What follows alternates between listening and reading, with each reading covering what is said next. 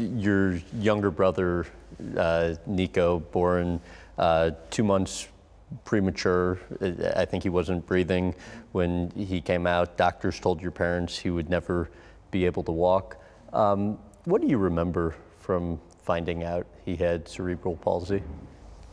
Well, I was seven, so I mean, I didn't really understand that uh, at the time.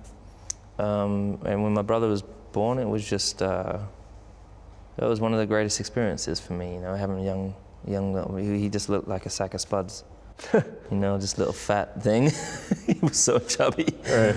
and he would just sit there and just never move. um, and it was just, you know, I, I loved growing up with him. And then, you know, when he was starting to get older, starting to do things with him, you know, having a, having someone to, someone you love to play with, and and uh, naturally he was into, he would be all, all my races from a, from a young kid, because we'd drag him around with us, and um, and you know now he's a he's a great young man. He's 24. He's he's raced cars naturally because wants to be a racing driver because I'm a racing driver.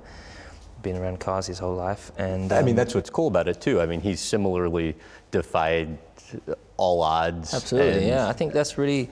I think because um, yeah, he was told he wouldn't walk. He was told that he wouldn't be able to play drums. He was told he wouldn't be able to drive. All these different things, and I think he loves to find what people say you can't do, and I, that's exactly how I am really. So probably we share that same thing in common.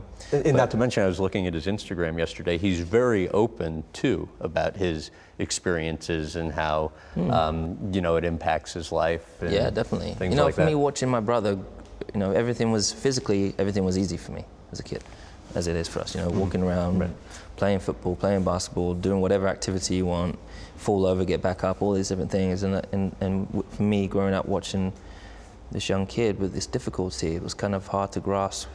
You can't imagine how hard it is for him, but I, I did understand because I was with him all the time. So I'd see the, the tears, I'd see the, the way people look at him, I'd see uh, the way other kids would look at him and, and treat him. And, and for me, being the older brother, just wanted to, to show him, you know, never give up. And, and then he inspired me as a young kid, just seeing him fall over when we're playing football, and it's easy for me to run around him with the ball but like when we'd be playing basketball, I'd get in the wheelchair and battle with him, you know, and and um, but he never wants he never wanted to it to be an issue, so he just always falls over, gets back up, and doesn't even doesn't even worry about it. Just gets up and, and pushes along. So you know, he's inspired so many um, so many people, not only with a disability but also without disabilities today, and. Um, just showing that anything is possible. You, you know, work hard for something and you can get there.